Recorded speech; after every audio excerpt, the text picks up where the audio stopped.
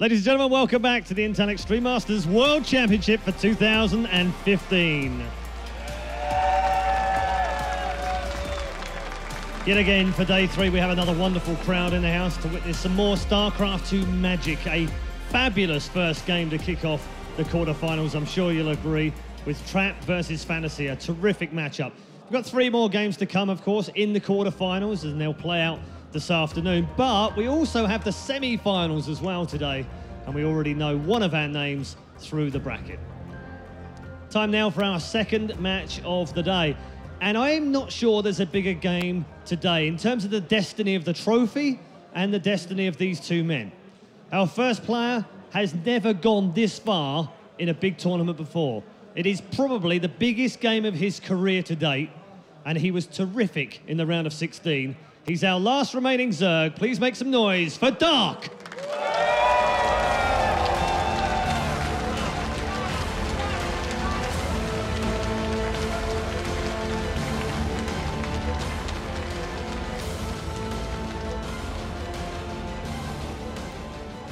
And with the weight of all Zergs on him, he has a bit of an uphill struggle. The reason being is his opponent. Not only the 2013 WCS Season 2 champion, the last OSL champion in StarCraft 2, but also the only man left in the competition with a 3-0 perfect record from the round of 16.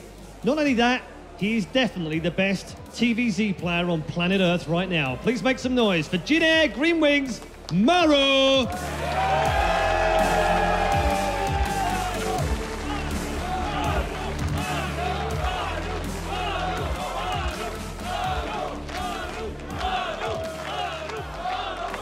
Some say that these two players hold the key to the championship in their hands right now. Will it go to one of these two? Will it go to innovation? Let's get the thoughts from our experts with Frodan. Between Maru and Dark. This TVZ promises to be one of the most exciting matches we have up today, and I can't wait to get it started.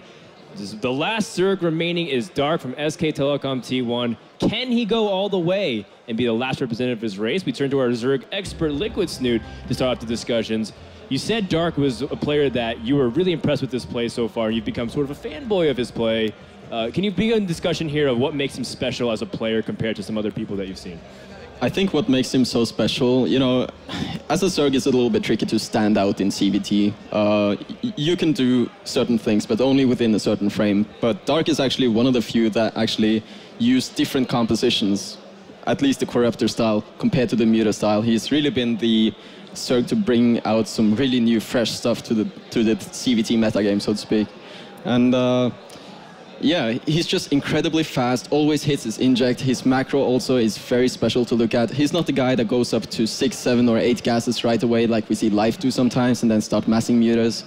Uh, he's kind of a mineral heavy Zerg, and also his creep spread has to be commended. It's He's so good. Every time you see the turn clearing creep, he's back on the field with three or four queens, just respreading creep again. So he's just a very mechanically strong player, and he also has a very strong understanding of the fundamentals of the macro game and uh, just how to use his attention well when he plays. Because ZVT is a very fast-paced matchup, so you really need to focus your attention the places where it uh, counts the most. Yeah, and even with that creep spread, you're even mentioning throughout the series how good he's, he is protecting it too. Sometimes maybe, you know, is he overprotective or not? We'll see how it goes engaged with uh, Maru coming in as a TVZ pressure player here. Uh, let's talk a little bit more about uh, Dark here. Kevin, you actually casted Dark back in NASL Season 4. That was Whoa. a few years ago. What's it like seeing his growth from back then all the way till now?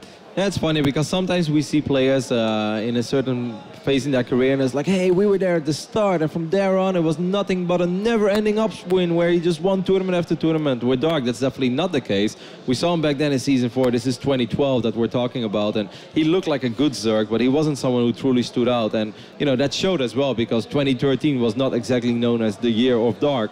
Uh, neither was 2014, but obviously, you know, behind the scenes, he's been working hard to get better and better, and over the last few months, he's been getting a lot of love from all you know the diehard Zergs out there that will always say like, man, you know, I know life is good and everybody loves life, but check out Dark as well. You know, he does this really well, he does that really well. Uh, overall. I do think, you know, I do completely agree with Snute, and I don't think that he has something that is like, man, like only Dark does it. Like, no, Dark just does what we like to see in this matchup, which makes TVZ such a fun matchup to watch. But he just does it very well, like extremely well even. And that's why I think we can prepare ourselves for an amazing series. Because I don't think Maru is very different. Maru is not the guy who like sits in his laboratory like, hmm, I need a special build. Like, no, Maru just executes things and builds a lot of stuff and controls his units extremely well. So I think this may be the most explosive series of the day when it comes to action, big engagements, and comeback and non-stop fighting. That's above all. Geoff, agree, disagree? I agree. Um, I think what's interesting about this series for me is that I feel like Dark stands kind of at the precipice where, like, I've seen this so many times. There's a guy who's kind of underrated, having great results earlier on in the tournament, and everyone's getting really excited about him, but then he hits that brick wall and he's put down, and we forget about him for months. And I feel like Dark is at that point in time. Maru is the monster. He is the wall. He's the guy he has to get past.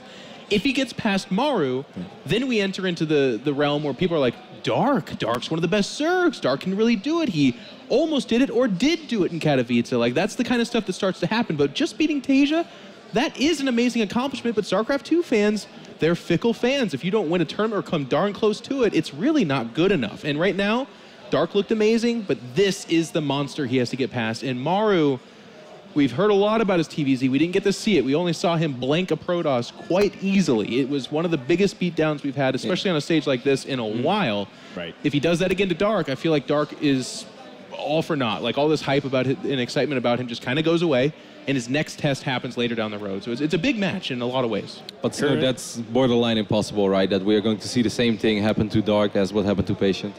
Patience? I mean, borderline, maybe, I know. but it could happen for sure. You can look at the uh, map vetoes. We have Secret Spring and Expedition Lost taken away, and so we have Overgrowth, Founding Research Station, Deadwing, Catalina, and Inferno Pools to wrap things up. The unconventional map that is wrapping things up, and of course it's spawn dependent on how things go. Uh, What so, I- dude, how how are you looking at this? Uh, and I mean, actually, I can even throw in some statistics here as well. Um, seven to eight is the current map score overall between these two players. Very tightly contested. Very They cool. met multiple times. Do you feel like these maps will influence that record at all going into the series? I'm not sure. At first, I, would, I was looking at this map selection, and I was like, yeah, this is, this seems fairly traditional. You know, Secret Spring being vetoed by the Zerg, and uh, the Terran vetoing Expedition Lost. But the thing that really stands out to me is that uh, Maru chose Vaani Research Station before he chose Catalina, and this is really weird to me. And uh, I I wonder if he has something special prepared for this map, perhaps, because um, we saw how good Dark played against TaeJa and Vaani. So Yeah. this is just really surprising to me. I think Catalina's rocking a 100% Terran pick rate right now, by the way. Yeah. I don't think I've seen a Protoss or a Zerg pick it. No, Um, absolutely not. It, it's not map you want to play as Zerg against Terran, so I can understand this. Uh, but still, it's just a really big surprise to me to see Catalina being chosen this late. Further down in the best of five. Yeah. Yeah, pretty Maybe he's that interesting trends. Confident. Yeah, like, overall, um, Maru did lose to life in IEM Taipei in the finals by a score of three to four, narrowly being defeated there for the championship. But he does qualify through that route. Meanwhile, Dark had to go through a pretty tough qualifier himself to get here. Uh, before we go to the gashes, let's get predictions once more, starting with Rotterdam. Um, I would mm, I will solve one map. I would say Maru 3-1 this one. Maru, Okay, Maru 3 1, so he's going against the Zerg. I was wrong on fantasy, but I'm going to keep the dream alive. I'm going to keep rooting for the underdogs now that uh, I've lost all my esports I'm in betting. so I'm going to go with Dark, and I think it'll be 3 2. Another fantastic series, is the hope. And Snute. I'm cheering for the Zerg, but I think Maru is going to take this one uh, 3-2, So that's it. Uh, Zerg's just done this tournament. perhaps. right here. But it's not going to be TVT, at least on that side of the finals, because we do know that Trap was able to advance. And that wraps up the pregame analysis here. We're going to give it to Apollo and Maynard, who will be taking you through this awesome TVZ. Dzień dobry, Katowice! Jak? Are you ready for Dark versus Maru? Everybody should be ready for this, Maynard. This is one of the most anticipated matches in the quarterfinals. This is a huge game between these two players. As Red Eye's already mentioned, this is Dark's biggest day in his entire life. In his entire career, this is a huge moment for him on the big stages.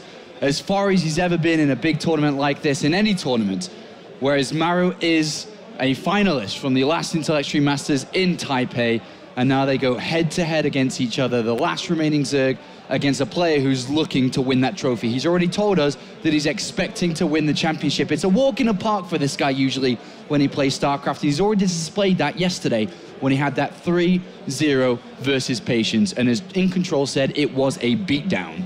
Absolutely. And speaking of beatdowns, we saw quite a few of them in Taipei, which was Lamaru's last major international event, where he was smacking Zergs down left and right. Of course, didn't manage to get there in the end, but Right. Red Eye said it very, very truly that he has the best TVZ in the world. Very, very hard to argue. Sure, Dream is great. Sure, Innovation beat Life, but Maru's consistent TVZ, his Yeah. non-stop aggression. We're going to be seeing some very aggressive games from him today. aggressive games, but also defensive games from Dark. We saw that when he played against TaeJa. And now this is the true test for Dark. This is, as everyone said on the desk, this is it. This is his big test. If he does this, then everybody's now going to accept that Dark is one of the best Zergs in the world.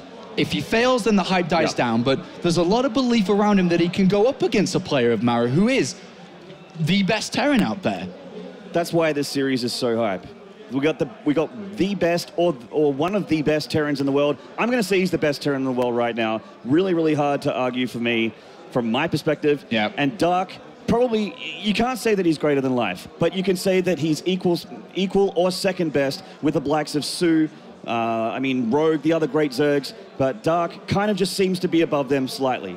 He's it- he got a lot of hype, and it's very, very well deserved. and especially because he played so well against Asia before. And yesterday, when we were watching Dark play, or the day before, we had we had questions ourselves about him. Which player was going to turn up to the Intel Extreme Masters World Championship? Was it going to be that player that is looked upon in Pro League as one of the best up and coming players that we've seen for a very long time?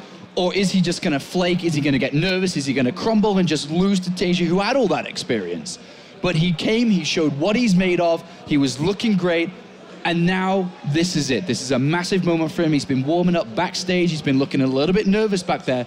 But at the same time, despite looking like that, I have a, I have a feeling that he's going to come into this very confident because of how well he dispatched Optasia three games to one. And if you're the defensive guy against the guy that you know is going to be aggressive, then generally the defensive player is going to have the defender's advantage. Defender's Right. advantage is very real, very powerful in StarCraft 2. And as a Zerg, with your shorter rally points, with the fact that you can pull up the larva and make the right units if you know that it's coming, if you see it coming, and that's the big if. Will he see it coming, and will he make? Will he react properly? Maru is one of the most aggressive players in StarCraft in every matchup that he plays. He plays very similar to, we all know how Life plays, the Ling run-bys, the counterattacks, his aggressive playstyle.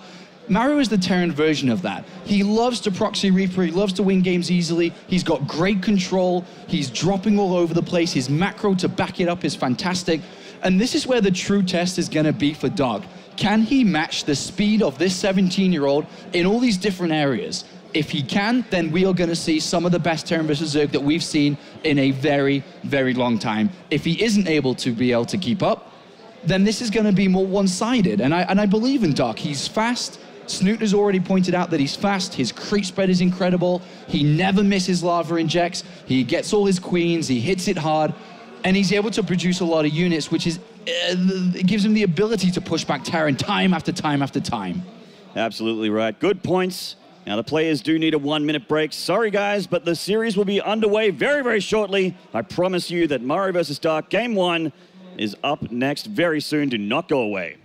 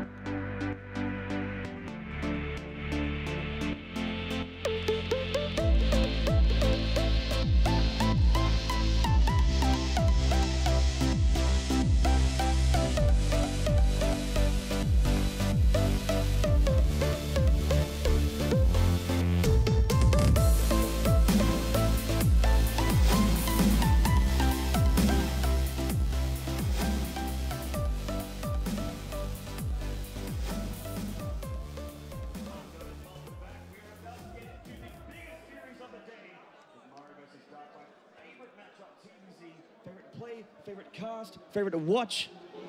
Cannot wait. I think over the years, Terran versus Zerg has had the most memorable matchups. I would say out of any any matchup in StarCraft 2. When I think back to epic games, I think about Terran versus Zerg, and I'm sure this one could deliver. It's really up to Dark here. Maru would be coming into this as a favorite. Hard to argue. Yeah. Maru's definitely the favorite coming into this, but Dark has the potential to overcome Maru, the finalist of Taipei, and potentially pick up the World Championship trophy through qualifying online, which is huge. It's a massive deal. This is a massive game. Without further ado, the game has begun. Let's get into this. In the bottom left here on Overgrowth, from Jin Green Wings, this is Maru.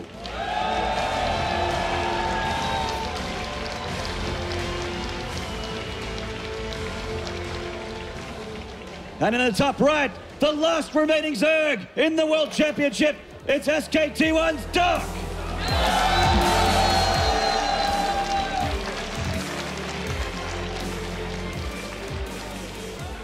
Both players have had a very successful 2015 already. Maru's reached two finals. Taipei and Star League is looking up at a, at a potential third if he does well here.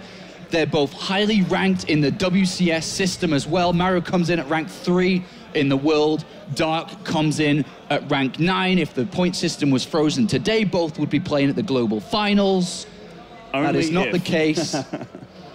but both showing excellent games so far this year. And as we've mentioned, Maru is definitely one of the, if not the best Terran in the world, with Dark catching up and closing on top three, if not in top three. Yeah, and a lot of pressure off him coming into this bracket. Everyone looking at that bracket would have been, okay, life is our Zerg hope.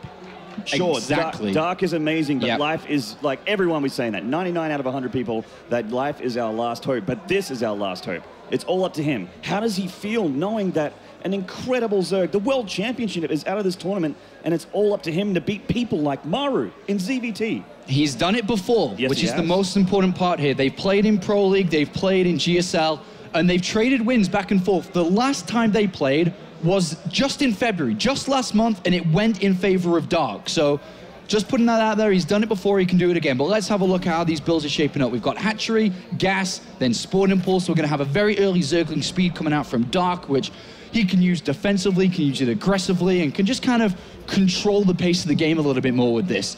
And whereas on the other side of the map, we have Maru who's decided to go command center first. This isn't a, this isn't very common, but still definitely viable, and it's going to give him a good boost in economy to start him off. Yeah, and absolutely, he's going to have a nice little bit of an in, of, a, of a, mineral income, a bit of an econ lead in the early game. As uh, you know, Dark isn't going for three hatcheries or anything like that. It is Exactly, just yeah. gas pull. Oh man, this this matchup. I mean, you were talking about these players. They've faced faced each other in pro league. They are best of ones, but this is a best of five. And, and it- can are you the player that can win in a best of five? Dark hasn't done that before, not in individual leagues. This is the furthest he's been.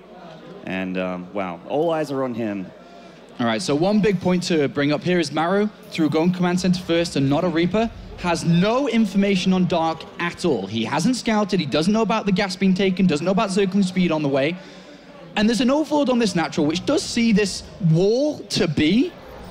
So there could be an opportunity where we see a Ling Flood to try to get damage done very, very early on. Only two Zerglings have been made, but we'll keep that at the back of our mind to see if that type of play could come out. Yeah, speed halfway done, and uh, well put out there by Funker, our incredible observer, that there is a gap for uh, for the Lings to make it around the right side if they wanted to flood through. That's, Yeah, well, there's definitely there's definitely space, but we see a second gas being taken here for Maru. Okay. So he's going to be going up to a little bit of aggression. So this is even going to be uh, Cloak Banshees, could be Hellbats. We've seen a lot of success from Terrans as of recently, and we'll see if that's going to come through again today. Yeah, we saw TaeJa get aggressive with the Hellbats. Saw Cure get aggressive with the Hellbats as well. Lings coming down here, having a look at the front, seeing the bunker. Yeah. No opening there, and it just looks like Dark's going to drone for now. No interest in the Ling Flood. Third command center's been put down straight after that. Second gas has been taken, and it looks more like we are going to see a Banshee play. Yeah, certainly And like oh, Dark is trying. He's got Oh. speed. He's trying to get some information. He's he gets it. it. Gets sees the tech lab. intel. Wow. Very, very nice intel there from that one Zergling. Definitely paid for itself. Yeah, he waited till Zergling speed was done, ran past the bunker, now knows what he's up against. Double gas, Cloak Banshees, then the third command center behind it. Good scout there from Dark. Absolutely. It really is nice how when the Ling gets up there on that ramp, you do have vision of that right gas as well as the uh, you know the vision of the of the, the, well, the placement of the structures as well. Dark's creep spread has begun. The third hatchery is down. Hellion's going to come across only a couple. They're not the damage dealers. The real damage dealer here is the Cloak Banshee, which of course Right. Dark is already preparing against, and he's dropping a Roach Warren as well. Yeah, just in case there was to be an armory to follow this up for a Hell Bat Banshee play. He's covering all bases at the moment. He got a great scout, and that gives him the push ahead to be able to make these correct calls, which he's done. As indeed, Maru getting really not much information at all with these Hellions just far. They are they are up in number. They're getting up to the four, so they can get uh, run Yeah. by. I mean, Dark is already a great placement with these queens. He's not going to let that happen. He's too good to let that happen. Yeah, the only intel that Maru's gathered so far is that he's not been all in because he went to see if the third base was there or not. He knows it's there. He knows it was put down at a pretty decent time, which means there is no attack coming his way. Uh, interesting mistake. That's actually a bit of a mistake there from Maru. That um, Mule kind of just. Uh, think he pulled it off Yeah. just right before. Um, I think at that type, when the mule is there, you, if he goes back towards the command center, it runs out and just dies. So you think he's just kind of saving minerals a little bit with that, rather than going to waste. Good point. Haven't seen that before, so that's a cool trick from Maru. Nidus Worm play going to be from Dark, an exciting game number one. Oh, all we right. thought the aggression would be coming from the little generic Ringwinks player. Interesting. The queen counts at five. He's going up to seven. Roaches are being made. And as much as I thought that roach play was probably defensive in case Hellbats, no, no, no, no, no, no, no. We are going to see this ah. Nidus worm being planted down. Overlord Oh, has been spotted, but there is that marine going to be able to target this Nidus. It's going to be at the back there. oh, the Banshee! All right. Just out of range. Nidus is on its way. It's He been sees it. seen, kind of, but he's not reacting to it yet. Maru needs to react to this. If this, if this plants, is going to have He's not- roaches and queens inside here. He's not reacting at all. The Marine on patrol is out of range. The AI isn't targeting it. He's completely oblivious, not looking at the mini-map at all. The Nidus worm is through. And here come the Roaches of Dark with Queens. Dropping creep as well. Maru already in a lot of trouble in game number one. Roaches all over the production. The Banshee has to come back to defend. An excellent play here from Dark, and Maru didn't stop it, and now he's in a lot of Oh. trouble. Stim is being targeted down, but the Banshee's so important. There's overseers and queens to bring it down. Oh my god, the Queens are getting transfused. The third even being attacked by Zerglings just for salt in the wounds of Maru. The, Marines are trying to position behind the SCVs. The SCVs are in a terrible choke where the Roaches are actually picking the perfect fight. They've, they've managed to save Stim, which is fantastic. Stim is about to finish for Maru.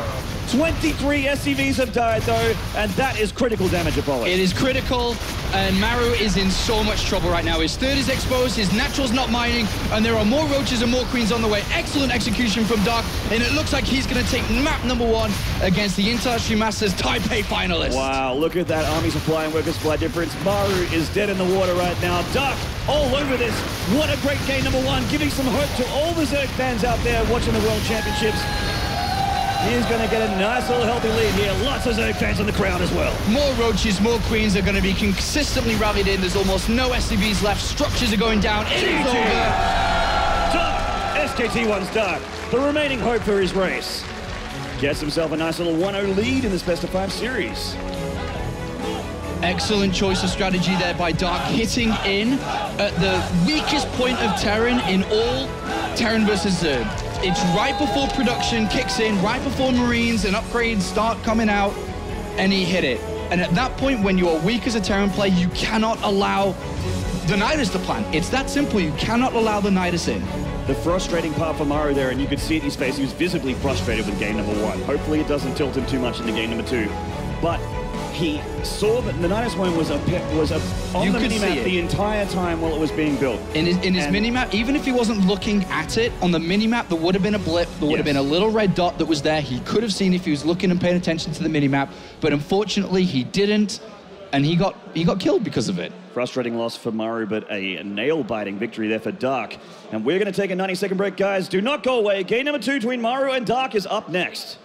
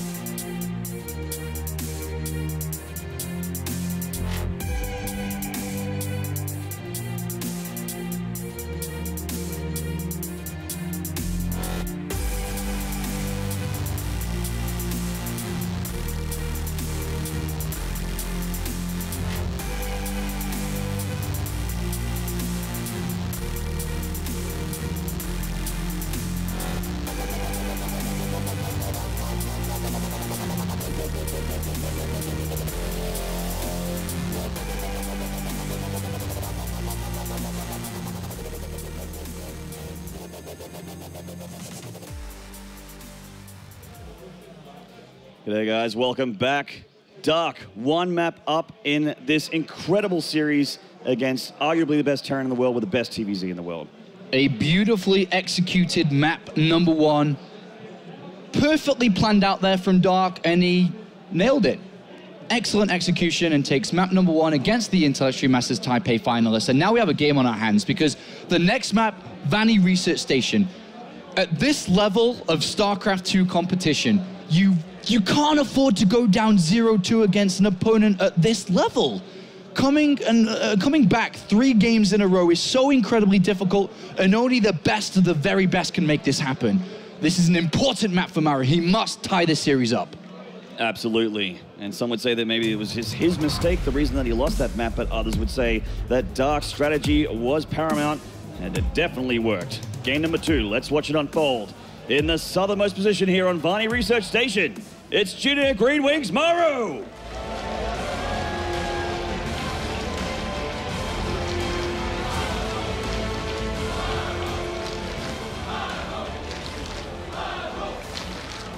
So much love. What a great crowd here in Katowice. Let's make some noise as well for SKT1's Dark!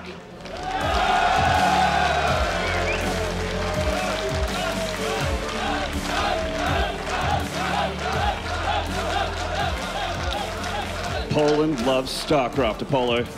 Yes, Confirmed. it does. And it has done for a very, very long time. And we are very happy to be here once again, as we were last year. But now, serious business. It's all about this now. This is a massive series between these two. We get closer and closer towards the semi-finals, which will be played out later on this evening. We get closer and closer towards the grand finals, which will be played in the Spodek Arena tomorrow afternoon and which one of these players is going through to the semi-finals, which one will be knocked out and finish just top eight at the World Championship Series. Well, looking like Dark's going to have to deal with a little bit of aggression, Apollo, in the early game with Maru opening for that triple Reaper with the 11 and Barracks. That is the 11 barracks and the 11 gas. Three Reapers are going to be made, and Maru has some of the best Reaper control. He's very, very clinical with his movement. He gets drones, he gets lings easier than other Zerg players. So, uh, uh, other Terran players, excuse me. So Dark has to be on the ball in his defense. He's. Oh, his Reaper control is out of this world. I even remember him proxying Reapers in Taipei against Zergs on this very map, in fact. I think it might have been true. Yeah. And bunker rushing. It was incredible. And that is exactly what Dark's overlords have been looking for. If you look to this Yeah. left-hand side overlord, it's come all the way to the left-hand side to see if there were barracks planted here or not. Yeah, and that's not something that you. When, when someone's that good at control and they have that many Reapers, that's not something you ever want to be up against. The SCV going for the scout here. Reaper number one about to pop. he may build a bunker with this. It's kind of looking like it. I mean, the, if the SCV goes unadulted, and uh, I mean, he's, he's obviously going to go in for a look because he has to, but uh, Yeah, it think doesn't look Dark like a might tag it. He just checks the uh, extractor, knows the gas income and the timing of this, and that the spawning pool was slightly earlier here than the gas compared to the previous game. He's being a very cheeky bugger with his SCV attacking the gas drones. Yeah, he is. It's a bit of a nuisance, bringing down the health of the drones just by a little bit, which means the Reaper's going to have an easier time picking off them. True. Could knock it down to one shot. Ooh, Yeah. Almost one shot. Uh, nice save there from Dark. It's all up to his drone control and whether or not he can uh, save them into structures or zone them out with the lings. Queen is only halfway done. Yeah, so he's got a little bit more time to wait. One Zergling's going to get picked off. One so far. It's incredible Terran with incredible Reaper control, but that said though, Dark's control's been pretty tight as well. Drone kill. Oh, Oh. nice save. Very, very close. Oh, the Queen picked it up! Oh! An uncharacteristic mistake from um, from Maru there, getting zoned out of the, like, kind of like a linebacker in the NFL, knocking the Reaper into the Queen range. You are not ever meant to be losing No. Reapers this early on. Wow. Looking like Maru might be a little bit rustled after that first game. And that Needs to pull his head in. that is a great position for Dark to be in when your opponent's, as you say, a little bit rustled. He can take full advantage of this. Full advantage. Absolutely. Now Reaper 2 is going to come in, but the thing is, there's not three anymore. It's just the two. I mean, The th- th- there's so many repercussions of losing the Reaper so early on. You're not going to start to harass the Queens. You're not going to get to the drone line, and it's going to be much easier for Dark to take his third. This, it's really, really big to lose a Reaper this early on. Yeah, so the small economy hit that you take for going for the aggressive opening is all for naught. But Exactly. going to try and rectify this for going for a very, very fast, 3 CC, but this Overlord is looking to scout it. Yeah, he moves in, sees Oh. the lack of gas, uh, but he can al- Yeah, or you can nice. already predict that the command center is going to be down. So he doesn't want to lose the Overlord. He's happy with Spicy seeing this lack of second gas, and he's just going to retreat back, knowing that Mar- that a Marine is on his way. With the first Marine coming out, we will probably be seeing more aggressive sort of play here from Maru as he goes for the starport nice and quickly as well. Yeah. Third hatchery being taken by Dark on the other side. and takes uh, takes a gas, a second gas on the natural. So it's not the fastest type of Banshee play, but it still can be a Banshee play just a little bit later after this third command center. So just two Reapers with two Hellions heading across. This is not a hatchery killing for- force. This isn't two with six Hellions or anything like that. So he's just going for a scout and seeing if he can get a cheeky drone or two. Maybe some lings. And this is quite cool, actually. Notice that Dark hasn't really built any Zerglings. Uh, he had a couple on the other side of the map trying to do a counter attack. He's only got these six. It was stopped, but he hasn't built more than that. He's only relying on Queen defense, and that's probably because he, the, the Reaper was lost early on. So the amount of aggression at this point is not as strong as it would be usually when that third Reaper is there, which is allowing Dark to drone a lot heavier than most Zergs would. The one weakness of this play is if the Hellions run by the Queens. So you can actually note that Dark has the Queens on the ramp to prevent that from happening, but his economy is zooming ahead because of this. Yeah, absolutely. He's in a very healthy position here. The Zergs certainly like drones. We've got the Reaper coming in here to see if there's any tech goes down. He sees a lair. So not all for naught. He has three Hellions here. Looking for any drone transfers. Nothing there. Maybe a creep tumor. Can't And get a thing. Even though the scout of the, the lair is there, he loses another Reaper, which again depowers this type of mid-game aggression. And so only drones have been made, 12 additional drones, off the back of the very early Zerglings that he had at the very beginning of the game to deflect against the Reaper.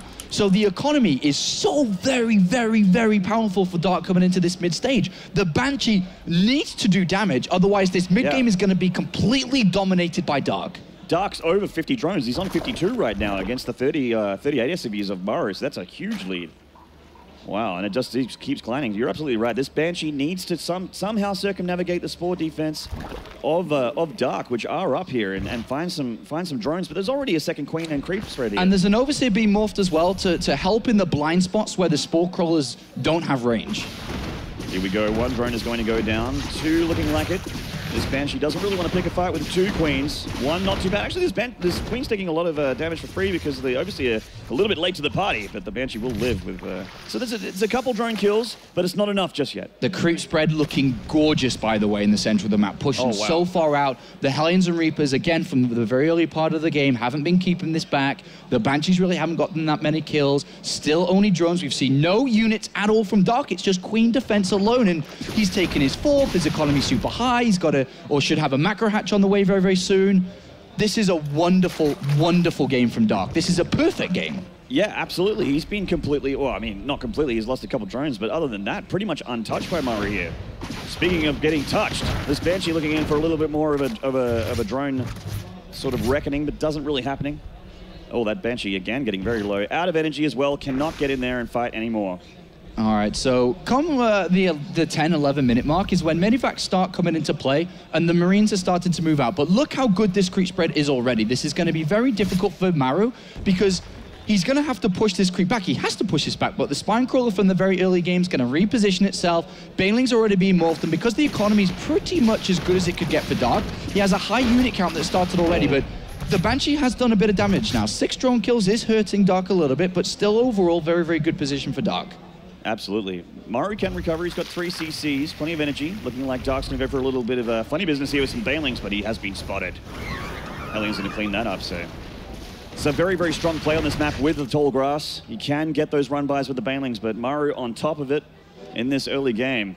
So yeah, I mean, the window for dropping is starting to close here with the, with the Spire about to finish and, the, and the, the gas being banked up for Dark. He's going to be making probably about 11 or 12 mutas when that finishes. Yeah, he's holding off from 2-2 actually. Instead of uh, researching 2-2, he's waiting for the Spire to complete to build his choice of units. But Oh, nice target fire, but he does take one hit on the on the Marines there. yeah, loses about six Marines or so uh, Yeah. without doing really anything. And now Mulisks are on the way.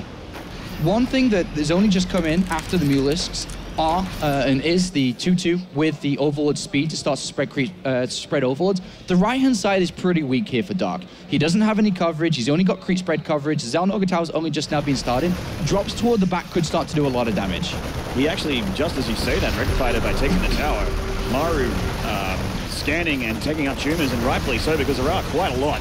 Oh, the Marines only got caught there, but a hot pickup there from Maru does keep the Marines alive. No hits. It is held that time. The Marines and the mines are getting placed. And it's up to Dark to get a cost-efficient trade here, or his hatchery is going to be in a spot of bother. Pushing forward with the Hellbats. Spinecrawler not in range, but the Lings and the Banelings are looking for those Marines. They do clear the Hellbats. They want a connection on the Marines as well. Looking like he... Oh, that Widowmine hitting the mutas there, and the may just be enough. No, he has to pick up and pull out. Pretty good fight there for Maru. Traded Yeah. off pretty well. Um, overall, that was a, quite a bit of damage. He's got a high army supply, and he's bringing his next wave. Uh. Uh, I'm not sure what that Banshee's doing, so that's just going to die off immediately. But the next wave of Marines is here. Another set of buildings are being morphed in. Luck was all too much for that Banshee.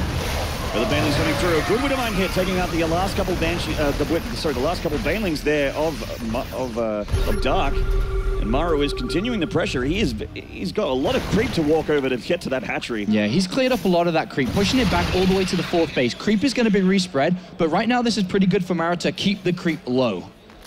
And he's just straight marining here. He's got one Marauder, but it is all about the Marines and the mines at this stage of the game.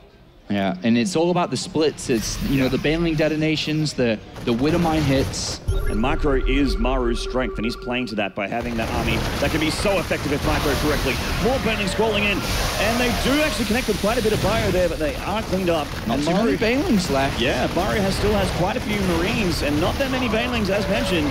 So he can actually continue to press the issue, taking another hit, but not a devastating hit. The medevacs are all still medevacs in the sky for Maru. Yeah, and one important upgrade that's been forgotten by Maru is drilling claws. So the Widowmines are not as effective as they would do usually because they're able to burrow and unburrow much faster. But Yeah. now they're in a bit of trouble. I mean, it's, it's always nice to have that upgrade. But the most important part of this game is this fight for the fourth base. If Maru can break Dark and get to it, excellent. And Dark's going off creep here with a lot of the Banelings and the Lings, and I think that the splits from Maru are just going to be, well, actually the Banelings have got him pressed up against the wall, and he does take a hit, but there is still so much bio on the ground. The Mutas can't get into the medevacs. And there's only two Banelings left, so there's a bit of downtime here. Maru's going to hold this high ground position again. He scans, he has a look, sees more Banelings being morphed in. Does indeed. Scans and sees what he's up against. More rejoining the fight is Yeah. not that big of a reinforcement. And that was a pretty good fight for Maru to run back off creep, and he's done such a good job of bringing this creep back despite how far forward it was before. The Banelings looking for another cluster. Oh, that's a brilliant trade there for Maru. No Yeah. damage at all from those Banelings. And you need to get these Baneling hits. 11 more on the way for Dark. Now, that is a scary amount of Banelings. Yeah. As good as Dark started this game, Maru is starting to take control of it again. He's got this fourth base in a bit of a submission hold, and he's going to keep wearing this down. And I love that he's starting to clean up the creep. Now that the creep's dissipated, he has this nice little spot. Yeah, look at this beautiful, Yeah. beautiful spread. And now a Thor in the mix. This is really annoying. You can no longer really poke forward with Mutalisk to kill off Widowmines or small squads of units. And Dark, interestingly, is going to go for a counter. But can he still hold the fourth while doing the counter play? Yeah, he's actually putting a lot of his defense into offense here. And sure, the, the rally is being cleaned up. Actually, Maru's might be looking at home because he took a big hit on the on, on the, the, the Bioforce there from Banelings. The Thor does go down, and these Lings are tearing things up in the third of Maru. This- the Banelings, oh, dealing collect with He forces the lift up, but the Zergling counterattack is doing a lot of damage into the SCV line. He's getting a lot of these moves, and this is a really good play because the most important part is that he kept his fourth alive while doing this. He's not taking too much damage. 10 SCVs have gone down. An excellent counter from Dark, and that actually, because of that, puts him in a lead by 20 supply and gives him breathing room to get that creep spread uh, out there again. Absolutely, and he's just taken an army supply lead as well. 30 workers up, 82 drones to the 52 of Maru. That, I cannot stress how important that counter was. and it's looking like he's running through again. He's again forcing a pullback here There's, from Maru. th- there's there's no turrets! Maru Oh skipped on all the turrets, there's none in the natural, in the main, there's none! Oh my god, he's going to take more econ damage here. Devastating opponents here for Maru. He's in a lot of trouble. The mute is completely uncontested. The Marines of Maru are going for a fullback. They have to run into the main, but the, this map just makes it so hard to run when you're at the third to get all the way back in the natural. You need those turrets. You need Thors in the main, anything. And just like that, Maru had Dark where he wanted, and then bam, counter-attack and readjustment, rethought process, and he changed up his game plan, and now we have a major, major advantage for the Zerg player. Dark is looking at this 2-0. We talked about how important it was Oh for Maru God. not to let this happen. This is a huge moment for the SK Telecom Zerg. That income difference is really telling the tale here in this game. That is what happens when you are this far ahead in economy. Look at how much room he's given himself. The creep spread is now approaching the halfway point of this map. He's taken a fifth. He's oh. into the natural again. And why not? He's only using a few mutas to do this as well. More mutas are out here than actually the majority of the mutas Yeah. on that force. And a good pullback from that Widow Mine. Great reactions, great multitask here from Dark. Just a great game in general. A beautiful game here, and he's he may try to snipe this planetary.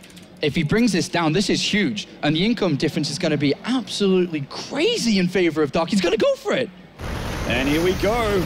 The Banelings do look for that planetary, and they're going to get it down as well. The planetary is all gone, and Maru is all but dead at this point. He's in so, so much trouble. I can't even think of a way that he can come back. Maru is uh, he is so dead at this point. You have nailed it. It's 14 SCVs down, planetary down. Maru has one final attack to hopefully.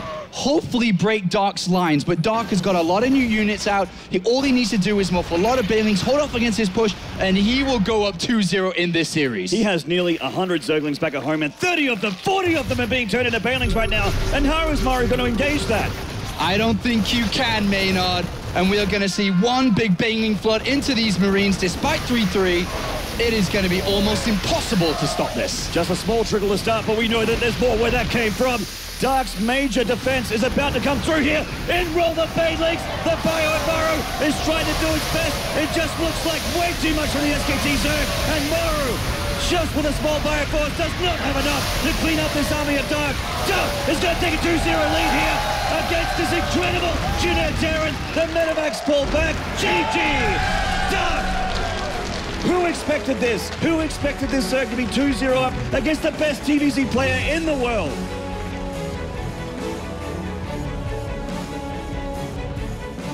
I am sure he is very, very happy inside right now, but it is not over yet. Maru is down 0-2. He is the finalist from Taipei. And remember back then, the only person that could stop him was Life, and he he destroyed everybody at that tournament. He looked great yesterday in the round of 16, 3-0 versus Patience, and it was the most one-sided game we've seen in a competitive level for a long time. But it looks like on that stage, he has met his match. Maru is going to need, well, about to take a break, and he's going to need all 90 of those seconds to think about this game. It is his last chance. I can't believe I'm saying this. Dark 2-0 up against Maru, of all people. So visibly frustrated here. Let's take a break, and let's see if Maru can tie this series. Next on the Intel Extreme Katowice StarCraft stream.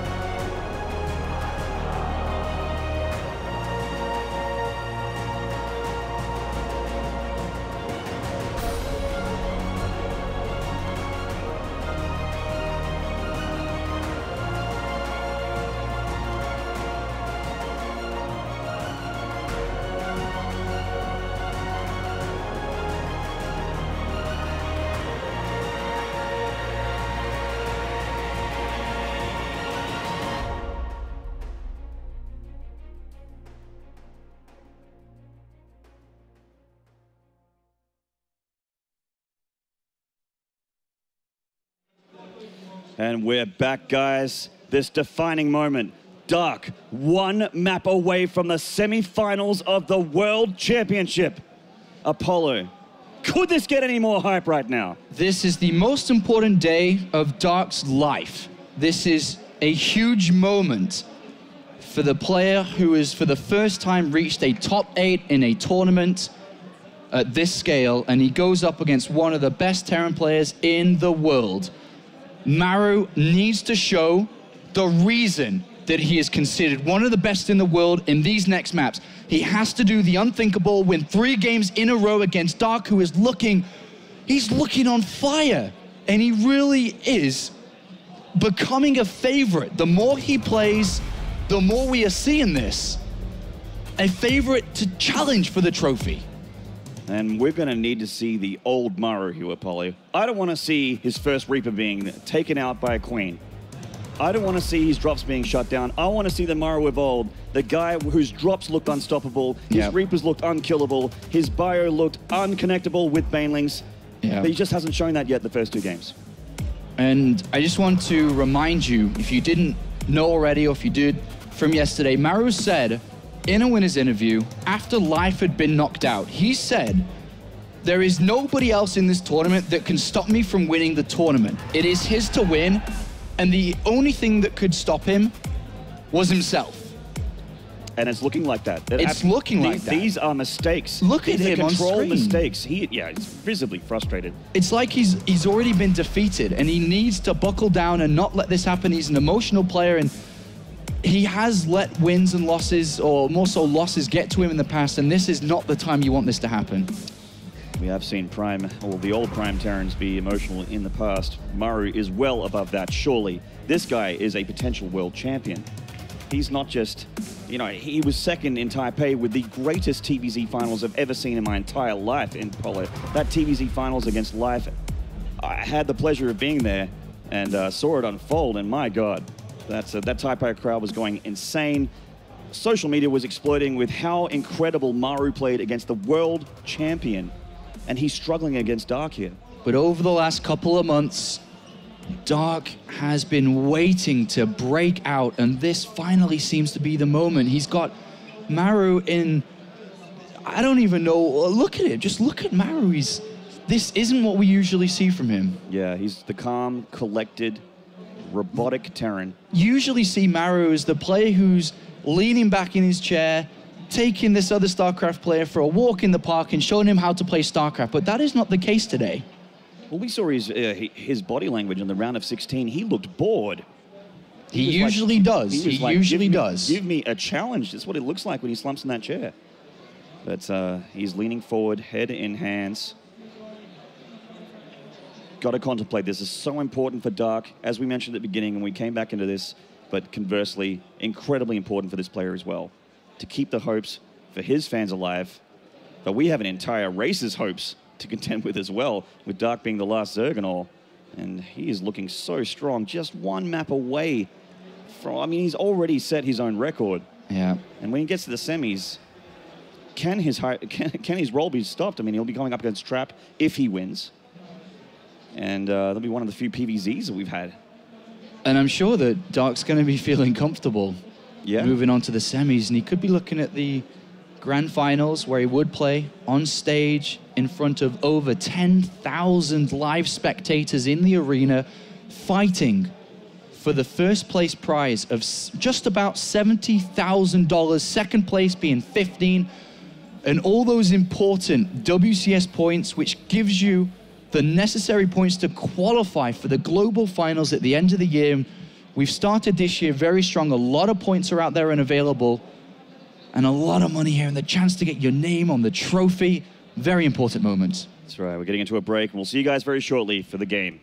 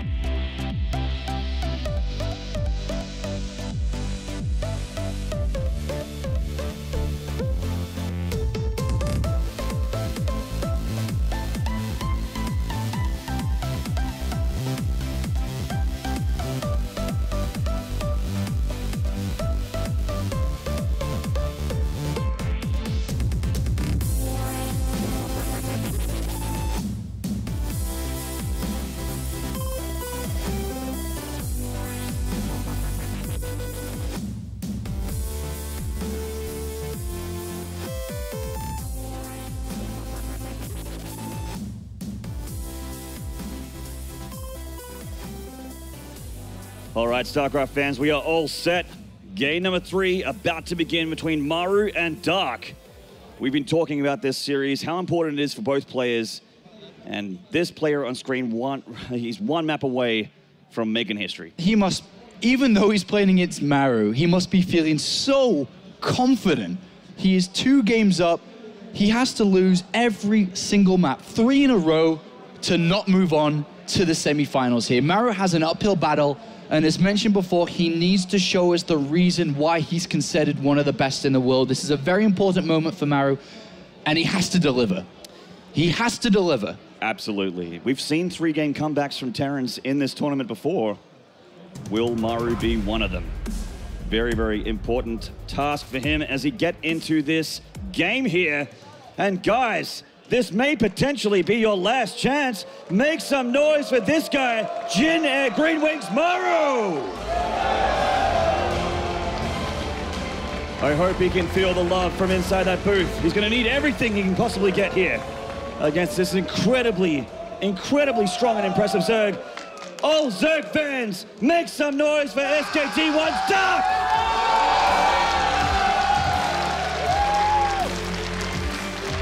Katowice, I am slowly but madly falling in love with you. You are the greatest crowd I have ever casted in front of, bar none. This is so sick.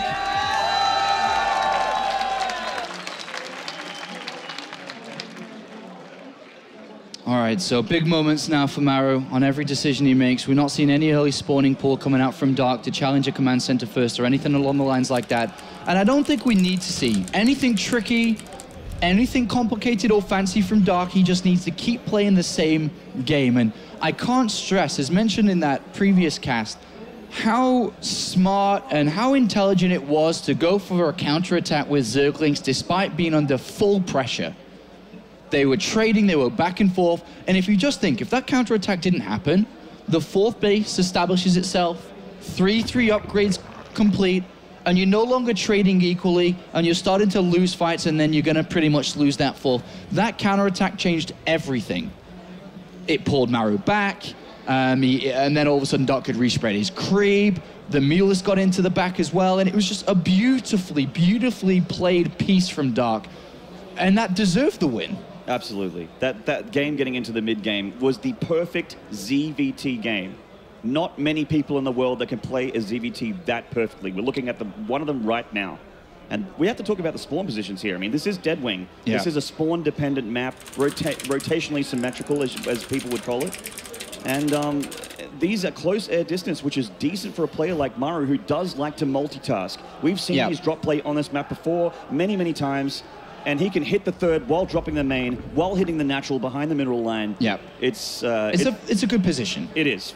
And if you think to the previous game, if he can set up what he did on the fourth base of Dark on that previous map here, there is no way to run around because you are controlling this little funneled area.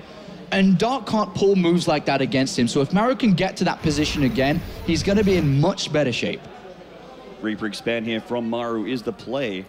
Dropping the dropping the reactor after only one Reaper coming through, Yeah. so he's it's up to this. Uh, he's not going to be losing this Reaper again. I guarantee you that Maru has pulled his head in. So faster reactor, faster factory, uh, only a single Reaper, faster Hellions are going to come into play, but at the sacrifice of not having the three or two Reapers up here doing damage. That's right. So I heard circling here. Target fire from Maru. He's going to get a couple Nice. here. Nice Very micro. nice. micro from Maru. And that all scary queen is far back on the tree. This Reaper not diving too deeply here. He hasn't gotten too much information just yet, but he has got a couple Ling kills, which is great. Okay, so with the setup that we're seeing from Maru back at home, a third command center is going to come into play pretty fast. Again, cutting out the Reapers, faster reactor, faster factory, faster third command center. So he's really powering up towards that mid game as highlighted before. And as we said, if he can get there in a comfortable position, he's going to be looking strong. And it's going to come down to how Dark wants to combat that. Because Dark has already played this out a little bit different compared to previous matches. He's only he's been gasless until just the second, where he's decided to take two assimilators at once. And has that been scouted in? Oh. It hasn't, not yet. Surround there, uh, uh, actually, a nice big concave of Queens with uh, from Dark, Hmm. nearly getting that Reaper, very close. A couple volleys and it would have been dead. So Dark has a much powerful economy when it comes to mineral income because he's focused so heavily on drones early on and not getting Zergling speed. Zergling speed is delayed, but there's going to be a lot of options to choose from once he starts banking gas from both of these extractors. Does he go straight to lair? Does he throw Roach Warren down? Does he want to go double evolution chambers pretty fast from this position? And this game looking quite similar from the last game from Armin. Apart from the fact that he didn't open for three Reapers, he is having the same follow-up. It's a Roach Warren down. Okay. So Roach Warren coming into play here. No lair. Okay, just now been thrown in. So the lair's going to complete around this, uh, just uh, a little bit after the Roach Warren finishing. So he could get Roach speed fast. Is he going to get upgrades for his Roaches? What he could do against a greedy Terran player is research 1-1 upgrades, research Roach speed, and try to overwhelm the natural. This is a strategy that is used not very often, but can be powerful against the right play. Let's see what upgrades he goes for and how he wants to match this up. He is making the Marauders, which is going to be handy because we do know that Roaches are on the way. And plus one attack. This does mean that he does want to go into Roach production. Uh, Roach, she- Roach speed should be the upgrade chosen, and he's going to be wanting to sit roughly around 50 drones, two base economy, and then power up heavily, heavily, heavily, heavily of Roaches if this is what he's looking to do. nice scout here from the Reaper, seeing the lair, seeing the gas. Has he seen the Roach Warren? He- He has He seen has, the Roach yes. Warren, but he doesn't know exactly what he's playing against. We're going to see a Roach Flood very shortly here, Maynarde. Oh, Marauder production has started, so Maru is being a little bit cautious of this. Overlords are going to start to be built. Roaches. Okay, let me just explain this. All right. If this attack doesn't work and doesn't win the game, we're going to see one-one upgrades coming in for Maru. He's going to have a better economy. He's going to have a lot of marauders, and he's going to start to run around with medivacs and just cause a, a nightmare for Dark. But Dark is looking to win the game with this attack. Yes. He's going to have a huge upgrade advantage, and he spots the Oh, he's seen the Roaches. That is amazing. a big tell. That's Uh, a big tell. This Reaper is the MVP for Maru in this game so far. It's still alive and has getting, gotten him all that information, just a single Reaper. Yeah, and so two Marauders are out. A third one's just to come into play. A fourth one is going to be on the way shortly. He doesn't want to stop Marauder production. And already, Dark, I think, is switched out because of that scout. He's built 14 drones. Yeah. He's just going to try and put a, as much damage as he can with these roaches, but the transition is underway. Now, with making all these drones and possibly losing Yeah. all these roaches, because it's that if they go across the map, they're not going home. Dark Maru is will chase them completely switched out now. So he's going towards this, and he's going to force the lift up of the third base because Maru shouldn't have enough units yet to defend it and should be very worried about a complete roach flood. So the lift up should happen, and then he's going to go back to normal game and rush up towards 70 drones immediately, get building speed, maybe throw down the spire, and go back to melee upgrades, I would imagine. The lift does happen. The roaches aren't going to go too deep, and Maru just staying defensive, keeping it at the bunker. The Hellions, the Yeah. Marauders, everything is back there. The faster Maru moves out to retake his third, the better it is for him. This is a fake. This he can move out now. Yeah. And the Reaper, actually, if it comes on the retreat, will confirm that the roaches have moved back. He sees this extra hatchery here from Dark. He knows the transition is here, Yeah. and this isn't an all-in at all. So, unfortunately for Dark, his plan strategy has been spoilt by this Reaper. And now allows Maru a good time to move out before the next. before the transition is ready. We could see a lot of damage done by these Stims and 1 1 Marines and Marauders. But indeed, the creep starting to be cleaned up. The push has begun for Maru. This isn't a rally push. It's just to try and clean up creep and see what he can get done. Perhaps trade well against the roaches. Dark obviously aware of this drop as well. And this is kind of the weakness of the roaches. They have to pull back. Little bit of a drop play here. Maru not multi-prong attacking. Nearly losing a medevac full of units, but doesn't quite lose it. It's good for Maru, obviously. Gets to keep all of his units and pull back here. Equal worker supply, 64 apiece. Yeah, the gas alignment's a little bit off for Maru, having to build so many Marauders, Medivacs. He hasn't been able to start 2-2 as soon as 1-1 is finished, just to keep that back in mind, because Dark is rushing ahead with his own. But so far, pretty equal, I would say, between both. Yeah, melee upgrades on the way for the Ling. It's going to be Ling Bane Muta Yeah. switched into here, and it is held that time for Maru. It'll be very, very effective against those Lings. So it 2 becomes 2 already on the way. Maru's looking of, like he wanted to have from the very get-go is to control this area and keep Dark in his own little full base play where we can see Maru start to spread and play nicely. And this engagement already looking pretty decent for Maru. The Banelings are coming through, and they do connect with a bit of the with a bit of the Marines balls here, but there's still quite a lot, and not that many Banelings at all. Coming through from the right, the Roach is doing the most damage here. Some four or five more Banelings on the left. Maru has to pick up. All the Marines actually connected with the Banelings. That's not too bad for Dark. And uh, Maru forced to retreat. Where's Actually, he going? He's going? to go in the main. Yeah, where's he going? He's sending the medivacs back with no units and then sending the three forward with. Yeah, looks like he's uh, wants to go on the main here. Pull the Zerg apart. He may have enough if he can unload the medevacs against these slings, but the Banelings are going to crash this party. He'll need to pick up here. But corruptors are in the way, so the medivacs aren't going to be able to do this forever. And this is Dark that we know and love. Getting the Corruptors in, over the Mutas against that medevac count. Such a tanky unit. Yeah, and already tank production has begun. Uh, it is the weakness of corruptors. Mutas can pick them off, corruptors can't. The Corruptors haven't been spotted here by Maru. and He's going to leave some bio here in the main today. They do get a Corruptor at least on the retreat. The, the- you remember the, the, the strategy I've said for Maru wanting to do is to hold the Xel'Naga tower and keep mm, the dark back. Look at the creep spread. It's unbelievably good. Dark is just looking incredible. There's a reason he's two maps up. That said, though, Maru has really not made too many mistakes in this series. He's looking a lot more solid in the third game. He's got to get out there to get rid of this creep Yeah. spread. And The engagements from Dark are going to start to be in the center of the map where he can come from many different angles compared to if it was Maru keeping Dark in that position.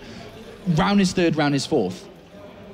That's right. Maru actually has quite a bank here. And he's just now spending it, getting that Marines eight at a piece coming out with a 2-2 of Okay. finish. Dark is preparing for the mo- big movement out with 2-2 upgrades that Maru's going to go for. In a moment, Maru's going to push out, and if Dark wins this fight convincingly, we could be saying goodbye to this Terran. Oh, I'm sure there's a lot of fans out there for Maru. He's earned them too. This Be has... disappointed with that. Maru has to be so very, very careful when he moves on to creep very shortly. so much creep to deal with as well, and he has to move on to the creep. It, it- the, the spread is so wide, there's not really any avenue of attack for him. He has to fight it. Hit the engagements that he needs to pick are almost at where his fourth would be. We've got the Corruptors hanging around the side, looking for any medevacs that they can pick off. Perhaps catching a drop, which would be sweet for Dark. Fourth Oh, command center on the way, and if, if Maru doesn't attack, Dark has already put the infestation pit down. He can go up towards Hive. He could play in uh, Swarm Host. He uh, does have that plus two attack on the way as well. He's flying past about nine Overlords here as he, he tries to drop and get some mineral damage. The Corruptors are on the hunt. Just Marines in this medevac. This isn't going to do yeah. anything. Completely ineffective, and he's actually got another dropship going over creep on the left, so Dark, if he's aware of that, can shut it down just as easily. Well, Most of his units, yeah, the Corruptors are on the hunt. They did spot that. Maru hasn't moved out into the uh, the pit of doom, which is all these Zergling, Banelings, Roaches, and Corruptors. He's sitting back, he's waiting, he's playing it patiently. I think he identified that if he moved out, he'd be in a bit of trouble, but he's taking this opportunity with the drops at the back to clear some of this creep. And there's a lot of Banelings here, Apollo, and then a lot of Oh, creep. he's actually stemming. He's still on creep. Oh, a big connection. The Banelings taking out a lot of bio. And Maru. Oh, he's already in trouble, and he hasn't even made it onto the creep very deep at all yet. I mean, he's, he's just bunkered down. He scans, he sees the hive, so he knows his opponent's moving to the next stage of this game. But he's hiding behind command centers. He's taking his fourth. He knows that this flood of Zerg is huge. He's got a very big concave with siege tanks to help as well. Can Maru hold here? A big push from Dark. The Banelings connecting with the siege tanks. They go down. A little bit of one of the siege tanks on the top. Oh my god, Dark's actually doing a lot of damage here. The Medivacs are going down as well. The Roach is still alive from the early game. And Maru already looks like he's in dire straits, Apollo. Yeah, Planetary Force is going to finish up to help fortify this area, but there's a lot of more units on the way. Corruptors chasing down Medivacs. Maru is dropping down to 115 supply, despite having two command centers to help funnel and filter these units through. The tanks could do maximum damage. He's been hit before his 3-3 ready, and now we see the flood of Zerglings streaming through. Dark is looking to move to the semis with this attack. He is, and he's through. The wall is down. The bunker is not going to be enough. Dark is pushing through. The Corruptors have cut that medevac countdown to two. The Banelings are coming through as well. Maru just is trying to hold the desperation holding from Maru. He has to evacuate the third. The Yeah. Banelings are rolling through. He has to hold this base. He's moving in towards the Bentley. He doesn't want to lose this command center, so he's got to lift it up. But he must hold this position. It is so important. Oh, man. How does Maru hold? He's broke. He's run out of minerals. Dark is one. His 40 supply up. He's got a lot of money to remake as well. The Lings are in the wrapping around the tanks. The bio is enough to clean this up. He's going to hold on for now. Great hold by Maru, and now he needs to be able to rebuild this third. He lost the command center, all of that to the Corruptors as he lifted it, but he does have 3-3. Excellent attack by Dark before 3-3 was done, or at least it will be very, very shortly here, but he's taken a big hit to his economy. Maru is bleeding out resources at this point compared to Dark, who's on five bases. He's got 3-3 on the way. He's got Adrenal Glands. He's got the Ultralisk Cavern coming into play too.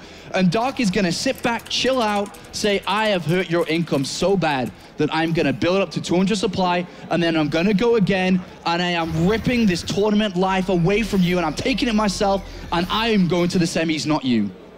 He is wearing the daddy pants. That is absolutely 100% sure in this current game. Looking to get a 3-0 against Maru, but Maru not dead yet. He's looking like he, I mean, he's obviously Yep. in a huge spot of bother, but not dead is the important part. It'll have Four, to be a miracle six comeback here for. Ultralisks are on the way. Oh my Maru God. mustn't overextend. He's got to be so very careful. Somehow get a couple of drops into play, but it's very difficult with Corruptors. I think the best way to do this is to sit back and really send one drop at most here because you need every single unit you can get.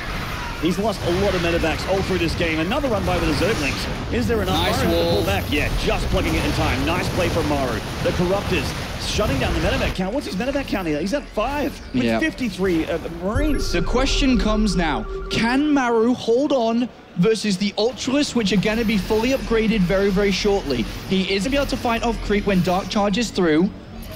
His Marauder, his Marauder's a 3-3. He has 12. Yeah, And it looks like Maru's trying to take this high ground area so that maybe he can take another expansion to this right-hand side. But the Ultras are ready, and the upgrades are almost complete.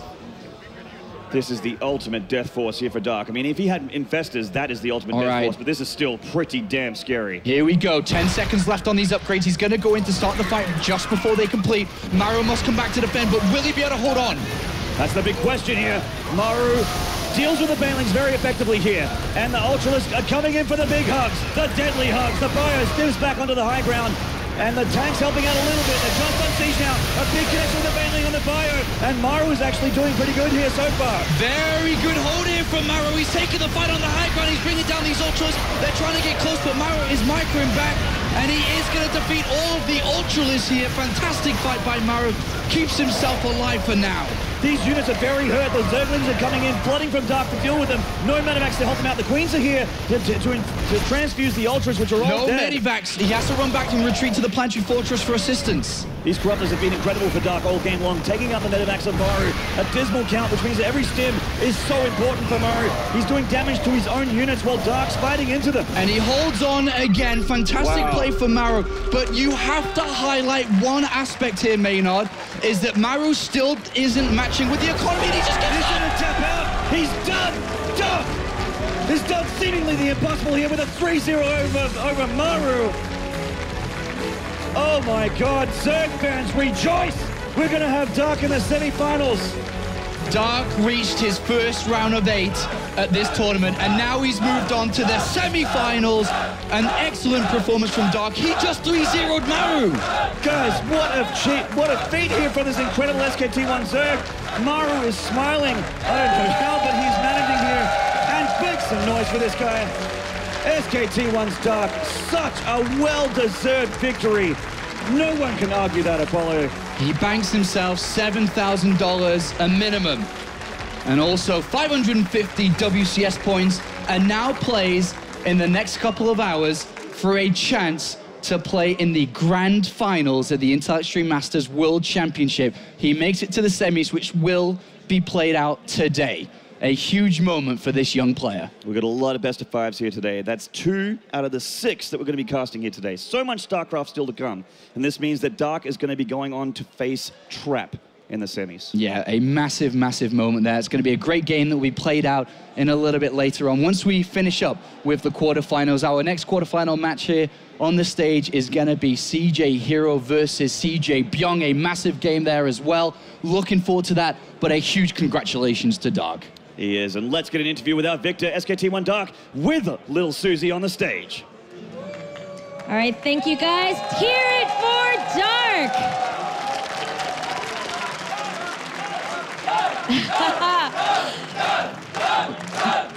Now, Dark, you are the last Zerg remaining. And there's a lot of Zerg fans out there. I think I feel it in you guys, okay? Do you feel any pressure that you need to represent this race? 어, 제가 이제 유일한 적인데 딱히 뭐 부담감 같은 건 없고요. 오히려 저가 한 명 남아서 더 많은 스포트라이트를 받으니까 더 좋은 것 같아요. He said, "Actually, I don't feel I don't feel like burdened or anything by being the last Zerg. I know I'm the last one left. In fact, I think it's better because I'm kind of getting more spotlight from all of this." Okay. Okay. Well, to make it here, you have beat out TaeJa, who is obviously a powerhouse Terran, and then you just took down Maru 3 0. Okay? I was talking to Snute earlier, and he was like, I don't know how this man does it. I, can you ask him my secret? So Snute wants to know what is your secret in ZVT? Because I, I think he needs a bit of help. 어, 제가 솔직히 어, 최근에 테란전이 좀 막혀가지고 어, 서- 영서형도 좀 힘들 거라 생각했는데 생각보다 빌드를 잘 짜와가지고 이긴 것 같아요. 딱히 비밀 같은 건 없는데 제가 오히려 스누트 선수 걸 보고 배우고 있는데 저한테 물어보시니까 좀 당황스럽네요. He said, um, actually, Terran was pretty hard for me too. Uh, in fact, when he came in, he thought he was going to lose to Tasia. And he goes, I can't believe Snoot would ask that because I actually watch Snoot's games to learn something. So, so this is kind of strange here. All right, well, speaking of Terran, since we saw how easily he ripped through that, your next opponent is Trap, who is a Protoss. Now, I don't know if you guys know this, but he went through five amazing Protoss to even get here in the Korea qualifiers. I I mean, names like Parting, SOS, like these guys, right? So, which one's easier for you? Zerg versus Protoss or Zerg versus Terran? 최근에는 토스전이 더 쉬운 것 같아요. 예선 때도 되게 압도적으로 이겨가지고 지금 조성호 선수가 저랑 하잖아요. 근데 명훈이 형이 올라오면 어떻게 하나 고민하고 있었는데 조성호 선수가 오셔가지고 다행인 것 같아요. He was like, uh, definitely Protoss is easier. Um, you know, you saw my you saw my results. I made it through qualifications, and um, actually, he was really worried that Fantasy might make it instead. And he was like, I am so glad that I'm going to be playing as Trap instead of Fantasy.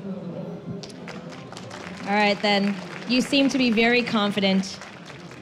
If you win it all, do you have a ceremony prepared for everyone? 어, 세레모니 아직까지 생각하지 않았는데 오늘 4강에서 이기면 생각해 놓고 결승에서 이기고 나서 하겠습니다. Okay, he says, I haven't thought of one yet, but if I win today and I make it to the semis, then I'm definitely going to prepare one, and I promise if I win, I will do a ceremony for all of you guys. Okay? So you heard it here. He's got, he's, if he wins this, we're gonna expect something really awesome from you, okay? And uh, Snute, back to you, Mr. Inspiration for this guy. Thank you so much, Little Susie. Absolutely amazing ZVT there from Dark. I'm just in awe. This was some quality play from Dark. Amazing creep spread, amazing macro, amazing injects. The engagements were top notch. He attacked in places where other Zergs would not have made this work. Absolutely amazing. Excuse me for that. Nah, no, actually, I don't even need to be here anymore. I'm just gonna watch and uh, take I my was break hoping now. I was hoping Snute would throw to himself to start off the conversation. as well. Well, first of all, let's tradition. start off with Snute. Snute. No, But that's yeah, amazing. Uh, you know, we, we were talking about his path here. It's very difficult going through the Korean qualifier, very impressive. But the road wasn't littered through Terrans they had to go through. It was actually Protosses. So I think uh, Dark's in a pretty positive mindset. He said that he wasn't even sure you can get past TaeJa, your teammate.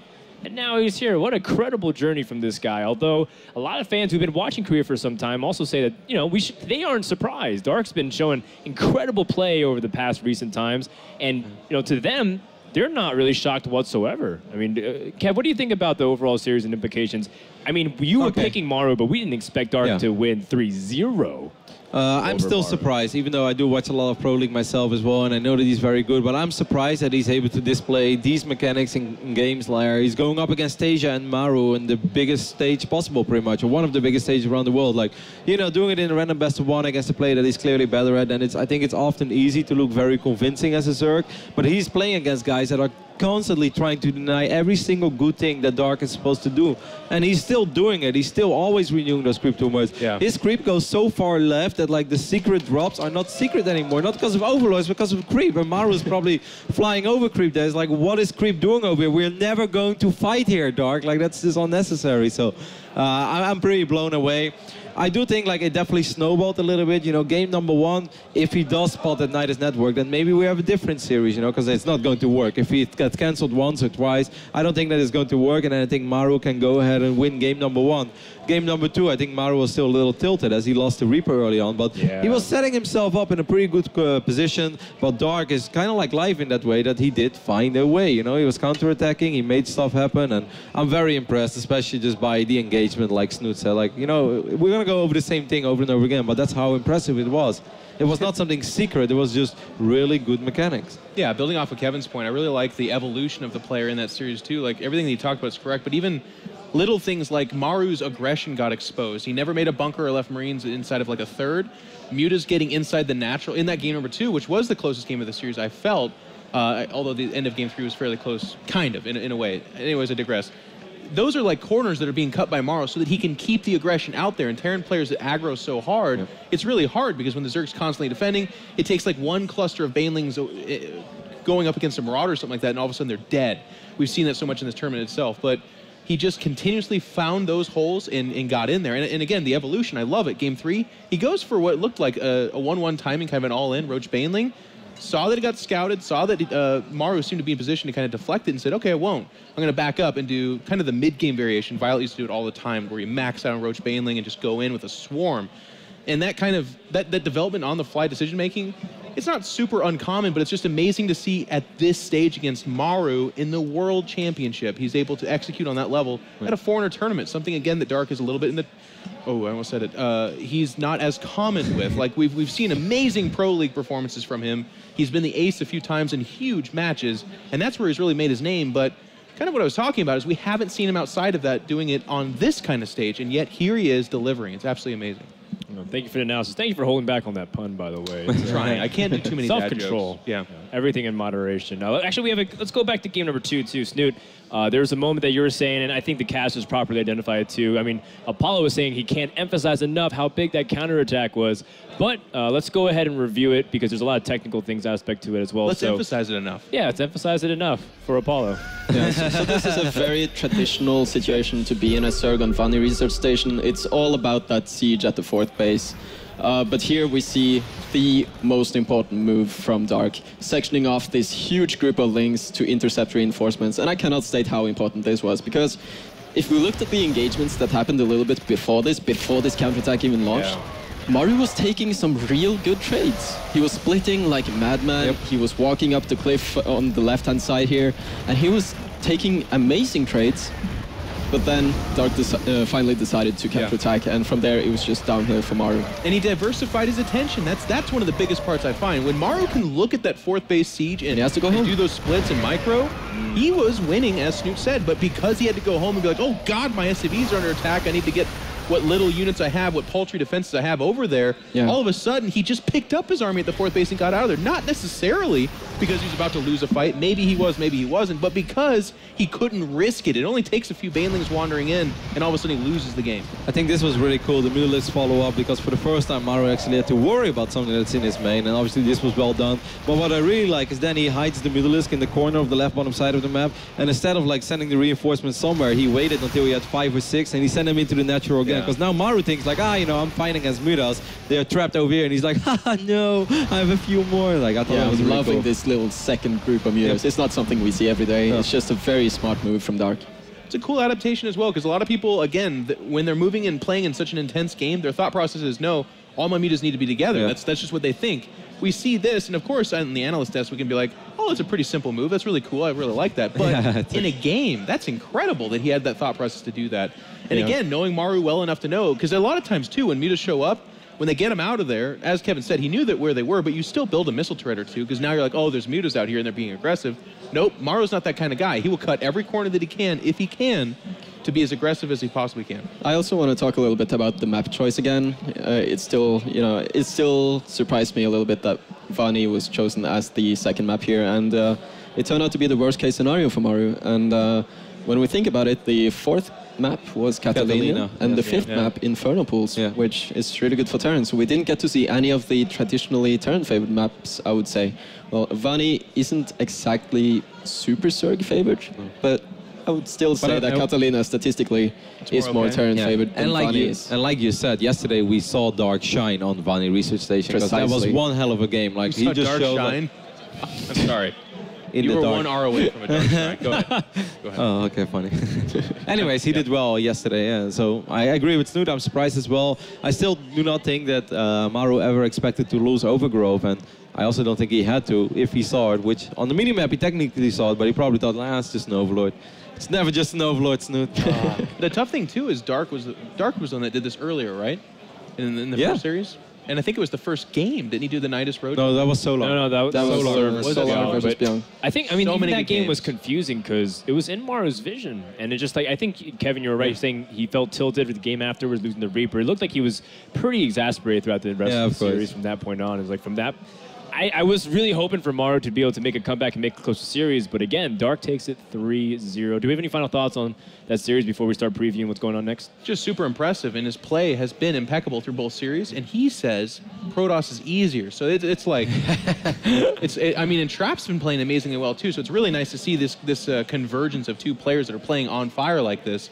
Two very uh, well, not very, I guess. Again, a lot of the hardcore fans know that Dark has been one of the absolute best Zergs on the planet. I just feel like the, the larger audience right now is being introduced to this Zerg that's for them seemingly coming out of nowhere, and it's really cool to see him versus Trap.